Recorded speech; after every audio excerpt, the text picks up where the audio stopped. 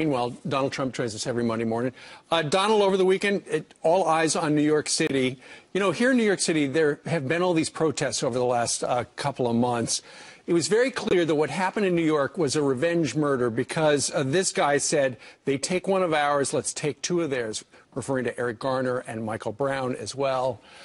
Uh, you know, a number of police officers say that uh, Al Sharpton, the mayor here, Bill de Blasio, have blood on their hands. What do you say? Well, I live in New York, and I know Al Sharpton very well. I've dealt with him many times over the years, and he is a guy who I don't believe really believes what he's saying.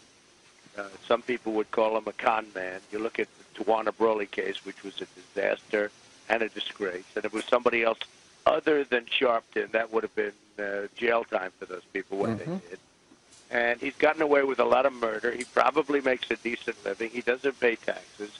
If you didn't pay your taxes, you'd be going to jail for a long time. As would you. For some reason, for some reason, he's out on the streets preaching like you know we're supposed to listen, but right. he hasn't paid taxes, owes millions of dollars. Blood on his I'm hands. Still, I'm still trying to figure. Anybody else would be in jail, so you're trying to figure that one out. Right.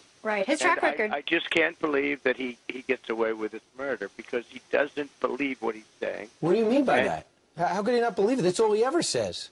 Well, I don't think. I think he's just doing it for himself, and he has a lot of fun doing okay. it. And he, he goes out to rallies, and he pretends that he cares deeply, and you wonder what goes on in his mind. But it's a disgrace that you know he's that he's leading a group of people. If sure. he is in fact leading, but what he does is he'll make the speech. It'll be interesting to see what he gets out of all of what he's doing but certainly in, it must be something because he owes millions of dollars in taxes. Mm-hmm. So somewhere he's making money, and somebody should look into it. One yeah. of the great investigative reporters that we have in New York. Let me ask you this, because Al Sharpton's one individual, but when it comes to the mayor, in terms of his responsibility in keeping peace and sending the right message. I mean, right now there are close to 60,000 people with a petition, MoveOn.org, asking for him to resign. Doesn't he have a different level, a higher level of responsibility? And is it not, is it not omission of real leadership that led to these events or the environment, at least, which caused these events and the murders of two innocent police officers?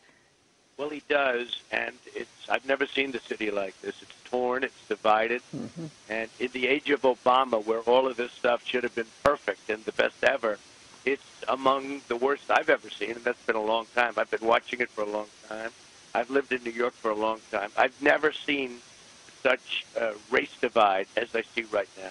Right. It's incredible. Al Sharpton yesterday has a press conference. By the way, his first calls were to the Garner family and the Mike Brown family. You think it would be to the to the two the families of the two cops who lost their lives. But here he is yesterday. He's complaining about death threats that he's getting. Actually played a clip. Listen. Last night, I began receiving threatening phone calls and hate. Uh, I'll play one because I'm turning this over to the FBI. The language is, hey, N word, Stop killing innocent people. I'm going to get you. And I have several like this. We are now under intense threat from those that are misguided by those that are trying to blame everyone from civil rights leaders to the mayor. Misguided. He, he's under threat. It's about him. Well, look, he has a way of turning things around, and Al is, and I know him very well, and I've always gotten along with him, to be honest with you. And uh, there are those that say he likes Trump a lot, but I will tell you, Al is a professional con man, and Al can turn things around by doing things like that. That was very smart of him to do. All of a sudden, it's about him. Sure. And people aren't blaming him anymore. They're saying, "Oh, gee, let's feel sorry for Al." Al's a con man. He knows it. I know it. Don King knows it. His friend who I go to fights with with Al, and they all know it. He is doing his thing, but his thing now is causing a, a lot of problems, and it's problems that are not going to be solved very easily. People are getting killed, and it's got to stop. Well, he, he, how many times have we heard him invoke Martin Luther King Jr.'s name? Alveda King uh, says she was raised by civil rights leaders. There's a big difference between her and Reverend Al. Listen to this raised by the brother of Martin Luther King Jr. and my mother Naomi and my granddaddy, Martin Luther King's dad. And so I know very clearly if my uncle were here today. I don't have to guess about what he would say or read because he was a Baptist preacher. And I went to church and sat and heard his sermons. I marched and went to jail during that movement. And so there's a, a scripture in Romans chapter 13. It says, people of goodwill don't have to be afraid of the law. And who wants to live in a community or a society without laws and rules? Well, there you go.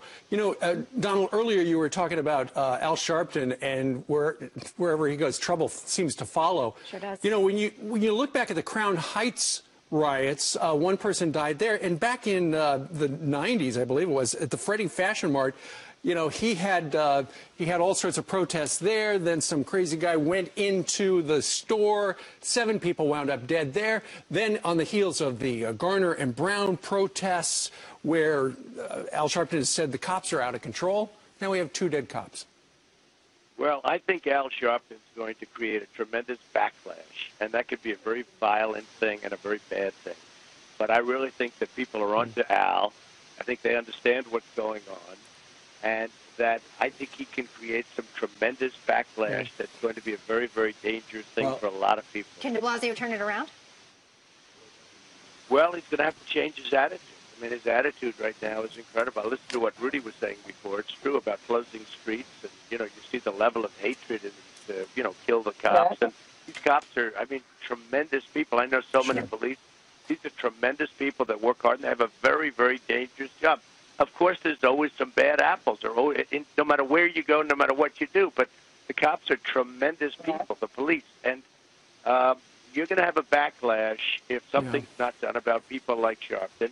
The mayor has got to act quickly, or he's going to lose control of the city. I wouldn't mind hearing from the president. He spoke after Garner, spoke after Michael Brown. He just gave a call to Bratton and went golfing. It would be interesting for him to, to pick up to, to call a presser in, in Hawaii. Donald Trump, Merry Christmas to you. Thank you very much for joining us on this And you Monday. too. Thank All you right, very Tom. much. Merry Thank you. Christmas, Mr. Trump.